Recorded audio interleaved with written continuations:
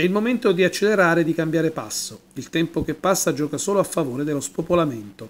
Lo ha detto l'assessore al cratere Guido Liris, che su delega del presidente Marco Marsiglio ha partecipato al vertice che si è tenuto nell'Alta Valle della Terno a Campotosto alla presenza del neocommissario per la ricostruzione 2016-2017 Giovanni Legnini e dei sindaci dell'area. È stato un incontro molto proficuo, ha detto Liris. Con Legnini c'è un'ottima intesa che ha consentito di reimpostare quasi completamente il percorso che deve condurre all'accelerazione immediata della ricostruzione di zone che hanno patito due catastrofi e che rischiano seriamente di scomparire.